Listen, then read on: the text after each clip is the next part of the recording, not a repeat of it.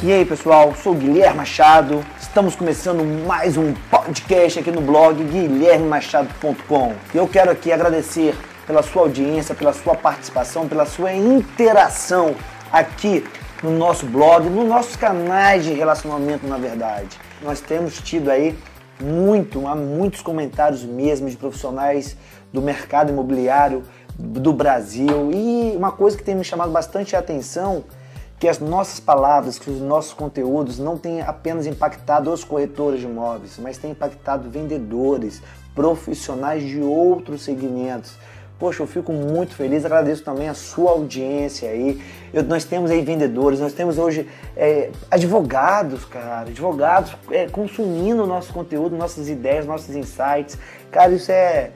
Isso me deixa muito feliz, não somente a mim, mas toda a nossa equipe aqui, isso é muito bacana. Então a você, nosso muito obrigado. Seja muito bem-vindo aí à família, ao movimento quebra-regras, ou um movimento realmente que tem aí revolucionado, transformado o mercado. Uma coisa que eu sempre digo, e você que me acompanha aí sabe disso, eu falo muito de técnica de venda, falo muito de venda, mas eu, eu falo muito de comportamento, muito de gente. Eu acredito verdadeiramente que nós temos de ser hoje especialistas em pessoas, temos de gostar de pessoas, porque é, é, isso que a gente está querendo. A gente quer um atendimento é, mais próximo, a gente quer um atendimento mais verdadeiro, a gente quer realmente que alguém se preocupe com a gente, preocupe com as nossas necessidades, com as nossas dores e não simplesmente, vamos botar assim, carteiros, aquele que só entrega um produto. Não, eu quero até comprar, quero até adquirir alguma coisa de você, um serviço, um produto, mas eu quero que você me entenda, eu quero que você me veja, tire esse cifrão dos seus olhos, bote coração nos seus olhos olhos. Nós vemos a era da generosidade, a era que a gente precisa ajudar o outro, se doar, se dar, cara, temos de nos dar, temos de dar para receber. Não adianta a gente querer receber sem, dar. Vamos dar, dar carinho, dar amor, dar atenção, dar informação, dar conhecimento, dar. Eu adoro dar, de você também. É isso aí. Eu quero aqui compartilhar uma música que eu curto bastante, gosto pra caramba. Vou até pedir aí a Naera para soltar um trecho dessa música enquanto eu estou falando. Adoro a música do Rapa, Anjos. Eu vou pedir para os anjos cuidarem de mim, cantarem por mim. É isso aí, adoro essa música do Rapa. E quero aí compartilhar com você um pouco desse trecho dessa música do O Rapa. Solta aí, Nayara.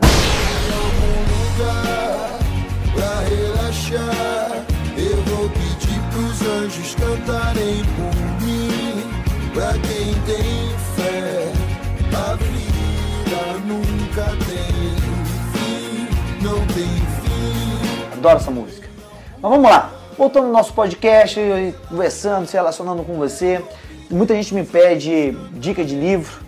Eu quero aqui hoje dar uma sugestão de um livro para você. O livro é O que os ricos sabem e não contam, de Brian Cher. Tô lendo, já tô terminando esse livro, muito bacana esse livro, bacana pra caramba.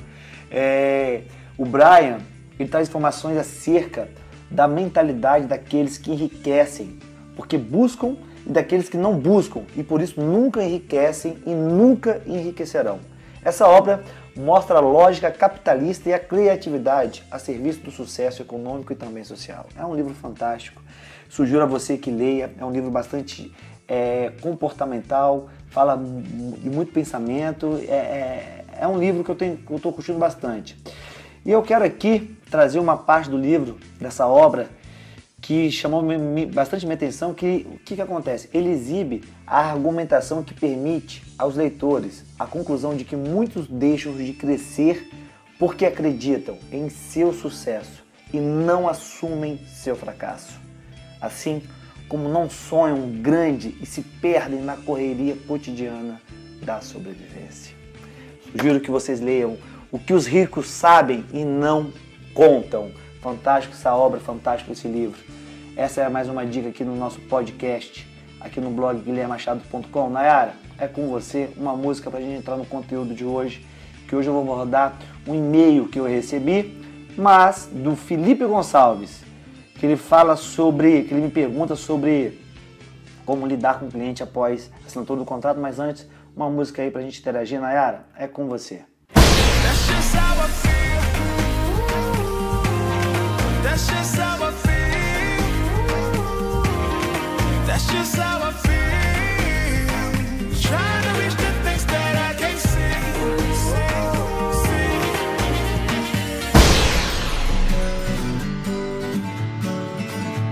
Vamos lá.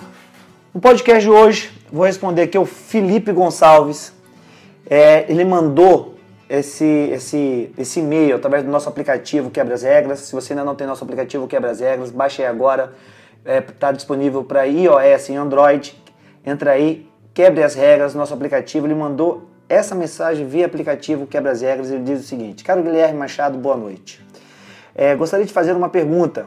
Quando fechamos uma venda, é sempre tudo maravilhoso para todas as partes. Porém, quando entramos na fase do financiamento junto ao banco e a fase do RGI, do RGI, Registro Geral de Imóveis, nos deparamos com as burocracias existentes junto a esses órgãos. Apesar desses fatos serem bem claros nos contratos de proposta de compra, parece que fica faltando a cereja do bolo. O que você tem a falar sobre isso? Vamos lá, Felipe. Eu não sei bem o que, que você fala sobre cereja do bolo, fica, ficou um pouco subjetivo para mim. E por que, que subjetivo? Que me, que me deixa à vontade para interpretação. Mas de uma forma geral, gostei do, do, do tua mensagem, do, do, do teu e-mail, achei bem bacana. E é verdade, cara. É, falo para você como corretor de imóveis.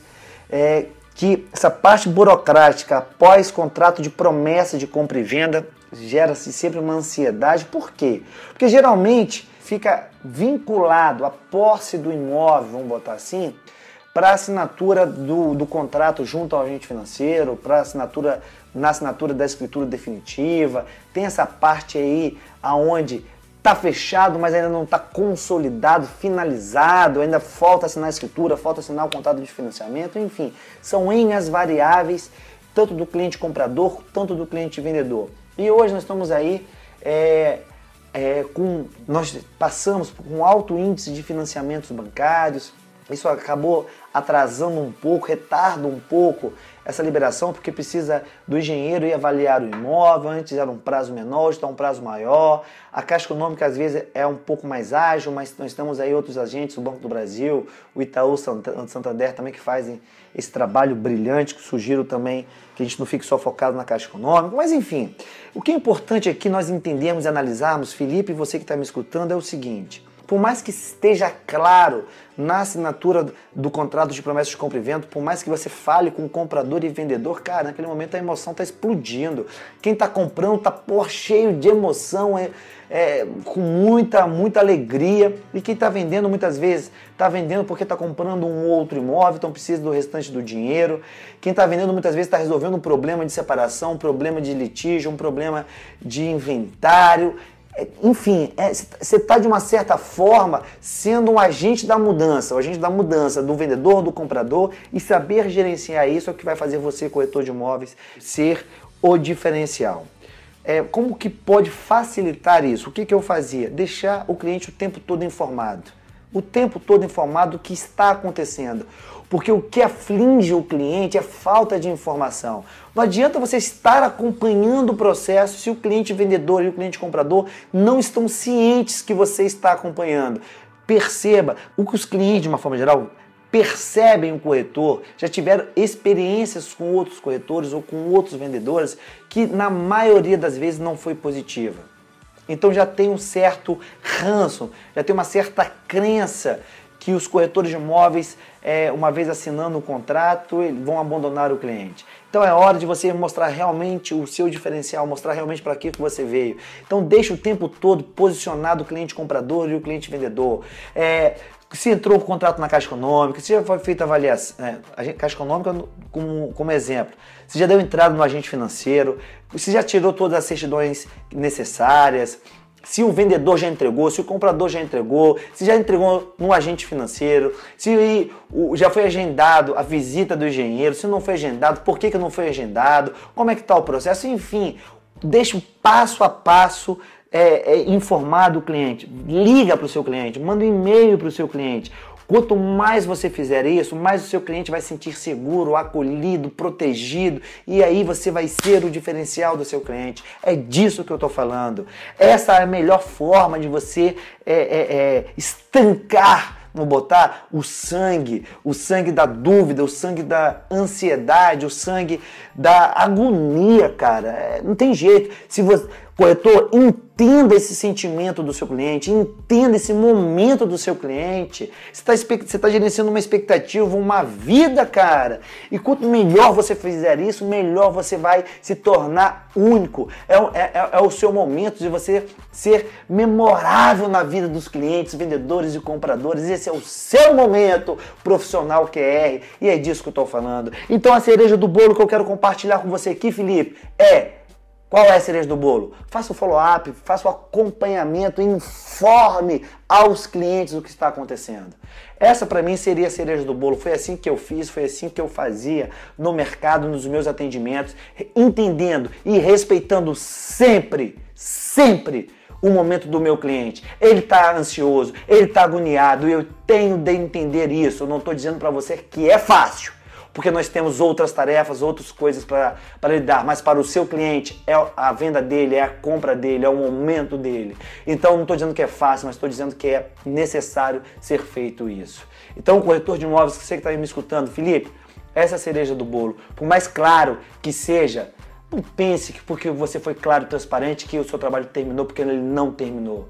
Entenda o seu cliente, entenda o momento do seu cliente e faça o follow-up. Acompanhe esse momento do seu cliente, acompanhe com a informação, gere informação.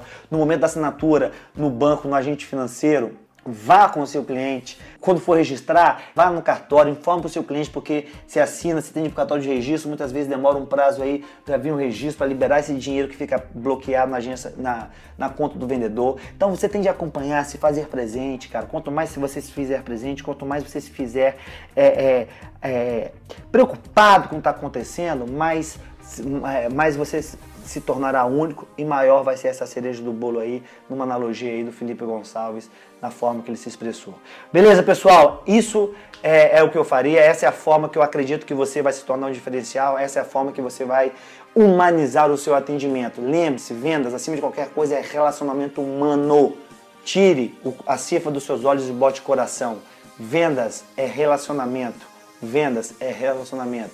Torne o seu atendimento humanizado. Seja humano, que você se tornará único na vida do seu cliente. Essa é a cereja do bolo. Beleza, Felipe Gonçalves? Isso aí, pessoal. Faça como o Felipe. Mande um e-mail pra gente, abaixe o nosso, nosso aplicativo, mande um e-mail aí que eu terei o maior prazer, maior satisfação de responder aqui através do nosso podcast. Eu tenho utilizado essa mídia para responder, para conversar com você que tem aí nos dado a honra da sua audiência aí. Eu tenho feito isso muito através do, do podcast. Beleza? Então faça como o Felipe, mande aí o seu comentário, mande aí uma dica, quem sabe ela não vira aqui mais um podcast da gente também. Pessoal, é isso aí. Desejo para você sucesso, sucesso, arrebento para profissionais que eu não desejo sorte, sorte é uma variável que nós não precisamos, porque nós estamos preparados e capacitados. 2015, vem em mim 2015, 2015, vem em mim 2015. Você sabe que eu tenho um sonho e não abro mão disso, é encontrar você lá em cima, no pódio, vamos juntos, quebrar as regras. Valeu, pessoal.